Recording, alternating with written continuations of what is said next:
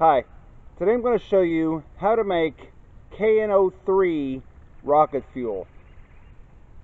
You will need some sort of uh, either a torch or some sort of barbecue lighter to ignite this. And you will need Spectracide stump remover. Spectracide stump remover is basically 100% potassium nitrate.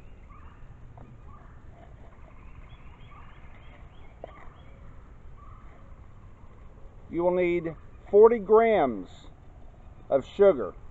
Now, some people, when they make sugar rocket engines, use powdered sugar, which is probably best, but you can also use granulated sugar.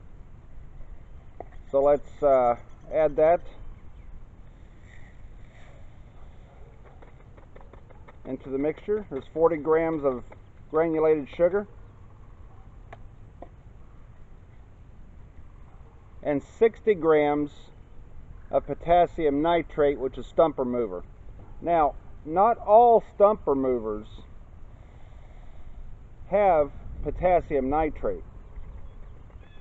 So make sure you read what is in the stump remover to make sure that it for sure is potassium nitrate.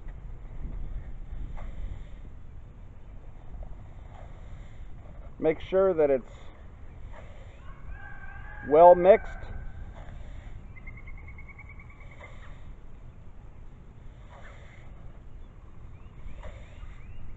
And also, if you have a blender at home, uh, not one that's maybe in good shape, but one that's just kind of maybe a junk blender, uh, you might want to grind this up in the blender but definitely don't use the blender after you make the rocket fuel. That would not be healthy.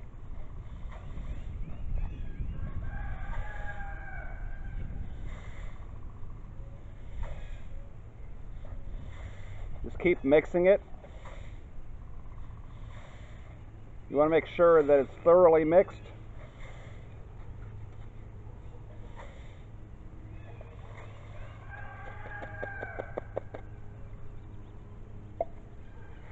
Then let's pour it out on the table.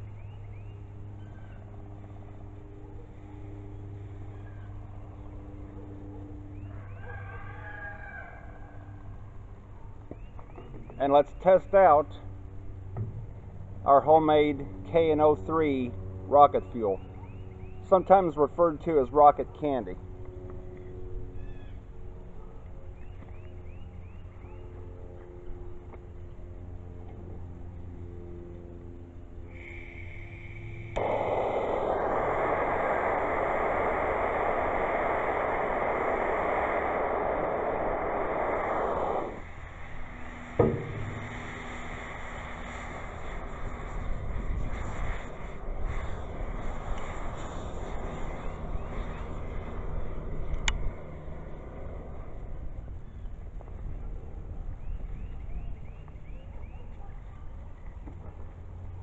As you can see, the granulated sugar and the potassium nitrate working together as a fuel and oxidizer causes a major thrust and uh, that will propel your rocket hundreds if not thousands of feet into the sky depending on the rocket's weight.